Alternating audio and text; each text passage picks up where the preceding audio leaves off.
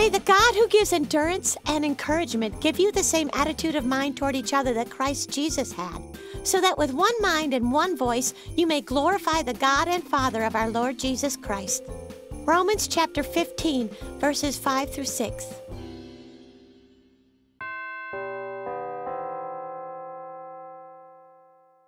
All right, people, let's take it from the top. Ready? Five, six, seven, eight.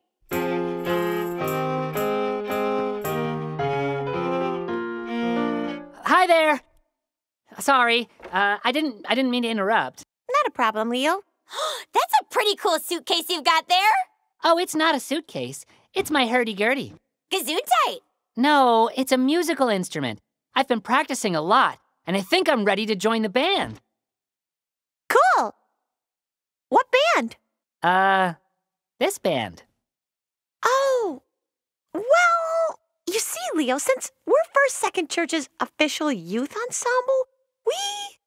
We we have a bunch of rules, and one of the rules is Is is that you have to play a real instrument. Yeah, right, exactly. The hurdy-gurdy is a real instrument. Check it out. Oh, I get it. The instrument is inside the strange suitcase.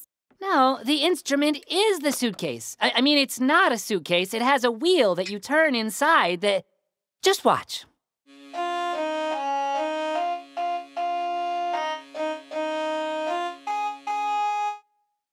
meeting.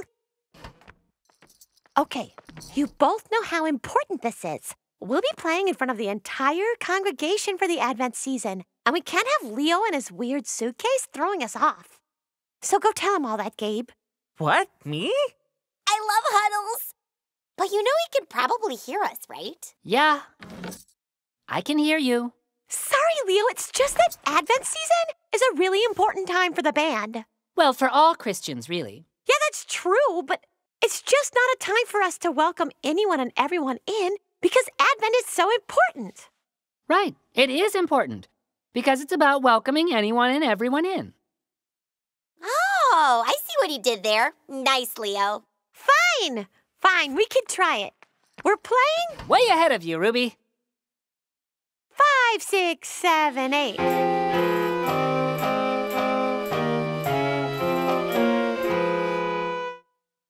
That didn't sound as good altogether.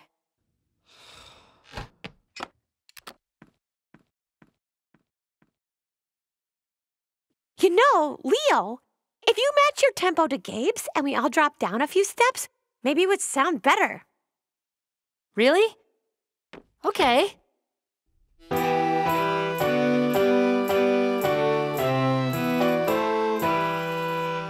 Well, it's still not perfect. It's getting there. Let's keep practicing.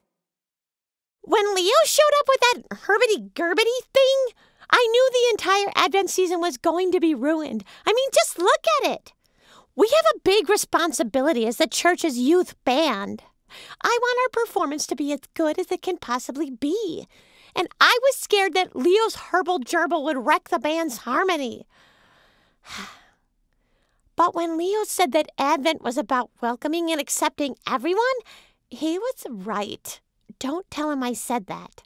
There should be room for all instruments in our band, just like there's room for all people in our church. Even if it seems like Leo picked a weird instrument on purpose. There are so many others to choose from French horns, xylophones, triangles, clarinets. There's literally no reason to play a hello, gello, or whatever that thing's called.